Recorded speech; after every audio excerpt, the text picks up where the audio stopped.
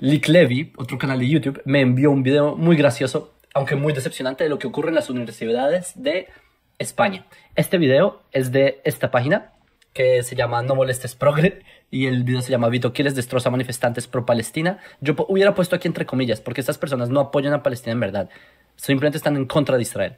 Y quiero mostrarles el video porque en verdad es una locura. El nivel de ignorancia de los progres ha ascendido demasiado. Yo no puedo creer que estos sean manifestantes en universidades. Yo no entiendo cómo los aceptan en universidades y vamos a ver a continuación las barrabosadas que dicen. Hay que protestar de alguna forma, ¿no? Y hay que hacerse notar también. Entonces yo sí estoy de acuerdo, la verdad. Pero tú como mujer te pones más del lado de, por ejemplo, Palestina, donde no se reconocen los derechos de la mujer, por ejemplo. Perdón, es que tengo Bueno, no te preocupes. Me parece bien que la gente se... no, no fue tan difícil la pregunta, pero él tiene razón. ¿Ustedes saben cuáles son los derechos de las mujeres allá? Todos los valores que promueven los progres son opuestos a los que promueve el gobierno de la sociedad, entre comillas, palestina. En Gaza no hay, las mujeres no tienen derecho. Las tienen cubiertas de pies a cabeza. Y hoy va voy con que se destapen un poquito el pelo. Golpe sin mente, sin pensarlo dos veces, porque son una teocracia. Pero los progres, paradójicamente, apoyan eso. Entonces, por eso la pregunta fue muy chistosa, pero la reacción fue más chistosa aún. veamos el siguiente eh, manifestante. Que la gente se, se, reivindique por lo que piensa. Se habla mucho de que también se echan falta una condena clara al grupo terrorista Hamas. ¿Crees que se debería hacer? Porque se apoya mucho a Palestina, pero no se condena el terrorismo de Hamas. ¿Lo deben hacer también los que reivindican la paz? No, no, no. Pero se han producido muchas violaciones, atentados contra derechos humanos, contra judíos. ¿Tú crees que el, terrorismo ese no hay que rechazarlo? Eh, no sé, yo solo puedo decir que... Mm, no sé, prefiero no responder, la verdad, lo siento. Pero, sí, que apoyas la acampada. Eh, sí, a mí me parece muy bien que la gente esté aquí. Pero no sabes sobre el tema, pero lo apoyas. Sí, digamos que sí. si pedimos... ¿Entienden el nivel? No sabe lo que apoya, no sabe del tema y le dicen explícitamente, ok, comprensible que condenes que Israel nos estamos defendiendo del terrorismo. Pero condenas lo que ocurrió el 7 de octubre. Y esta es una pregunta que yo le he hecho a varios pro-palestinos. Simplemente son anti-Israel. Ellos no apoyan ninguna causa porque no la entienden. Ellos apoyan algo que no entienden, es decir, no apoyan nada. Yo digo, sí, yo apoyo a, los Cuijibo, que los Cuijibo tengan eh, su hábitat natural y que es un Cuijibo un cuillo. Es la misma cosa. Están apoyando a Narnia, un país inexistente que no conocen su causa. Pero eso sí, cuando les dicen condenar algo que ante ojos de todo el mundo fue terrorismo. Ellos mismos, los mismos terroristas de Hamas, estuvieron orgullosos de que fue terrorismo. Lo grabaron en orgullo. Les mostré un video hace unos días de cómo están diciendo Allah, gracias a Dios, mientras secuestraban niñas. Y eso no lo pueden condenar. No pueden condenar mientras decapitaron bebés en cámara. Mientras sacan fetos de una mujer embarazada, se los sacan eso no lo puede condenar. Yo entiendo cómo esos progres los reciben en las universidades de España. Señores, si esos progres son los futuros trabajadores del gobierno de España, de las empresas españolas, esto, ese país, no quiero decirlo, pero está condenado al colapso. Si ese es el nivel de la academia y de sus los alumnos y los futuros eh, que van a componer la élite económica del país y todo eso, están condenados al colapso. Sí, digamos que sí. si pedimos el fin de la guerra, ¿crees que se debe condenar también lo que hizo el grupo terrorista jamás o no? Probablemente, probablemente. ¿Tú lo condenarías? Eh... No estoy seguro. ¿Qué se lo duda? ¿Qué se lo piensa? Es una organización internacionalmente catalogada como terrorista. Incluso países musulmanes lo, lo consideran islam, eh, terrorista. ¿Qué tanto se lo pensó? Se lo pensó medio video. Video tres minutos y se lo pensó cinco minutos. Probablemente, probablemente. ¿Tú lo condenarías? Eh,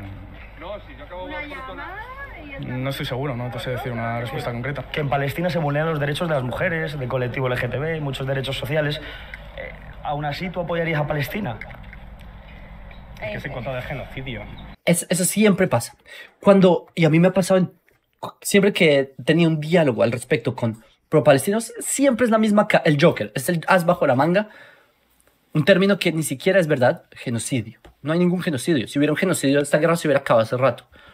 Entonces, ¿cómo es? Cuando uno empieza a dar argumentos históricos, datos, estadísticos, uno empieza a dar argumentos geopolíticos, argumentos racionales, argumentos humanos, uno empieza a dar una serie de argumentaciones que destruyen, pulverizan la narrativa pro-palestina, que salen cuando están ya contra la pared.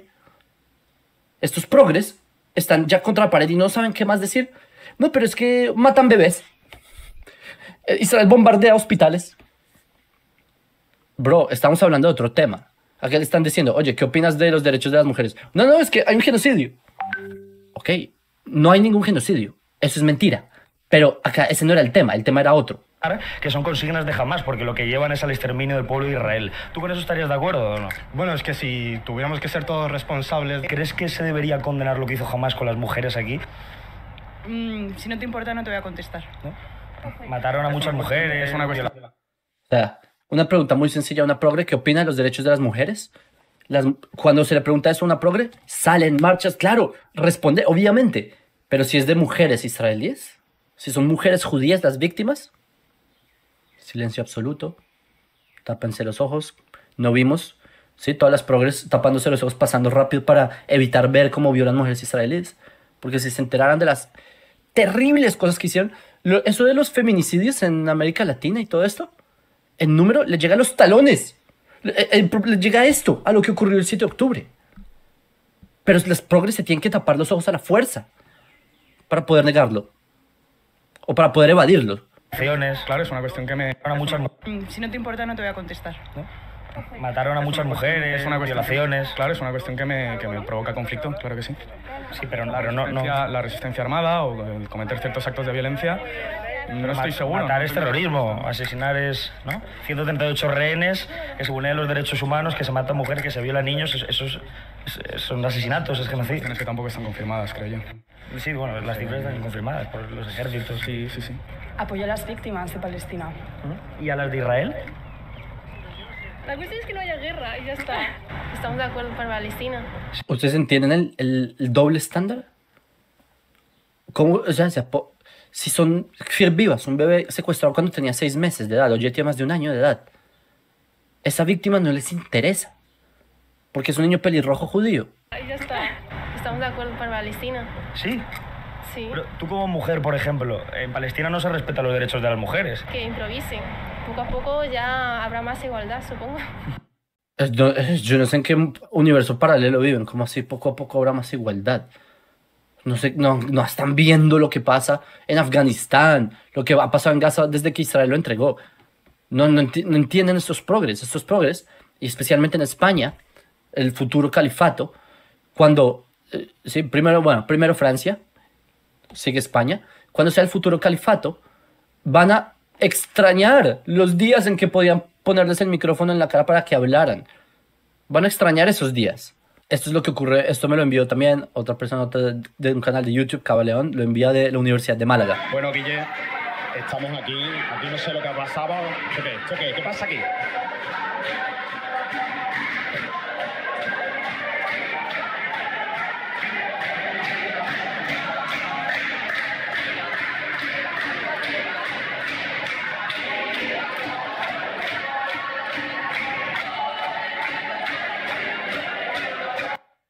Qué insensatez.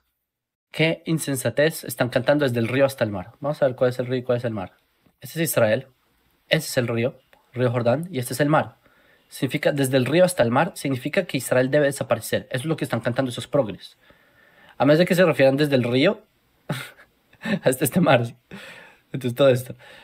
Pero se refieren desde el río hasta el mar. O sea, todo Israel debe ser exterminado. Ellos no tienen ni idea de qué río se habla. Ellos no tienen ni idea de qué... Uno, va- uno le pregunta a estas personas que cantan desde el río hasta el mar, Palestina debe ser libre. Y uno les pregunta, oye, ¿sabes de qué río se trata? No. ¿De qué mar se trata? "Eh, no, eh, los hospitales de Gaza. Por favor, hagan ese experimento. No les estoy diciendo que se traten de meter a una de esas manifestaciones, es peligroso y todo eso. Pero si ustedes intentan, digamos, escabullir y ustedes preguntan, hagan esa prueba. No va a ser agradable, pero las respuestas que les van a dar son totalmente insensatas. Es una sátira a la inteligencia humana.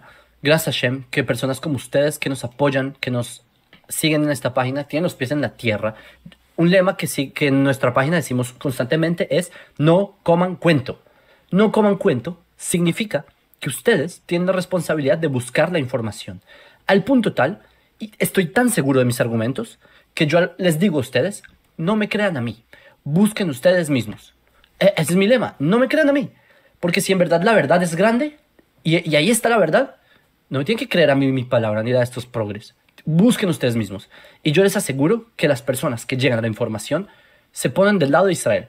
Las personas perdidas que no saben ni siquiera lo más mínimo del conflicto, sino que siguen la narrativa, las narrativas como genocidio, no saben qué significa ni siquiera cómo se define esta palabra.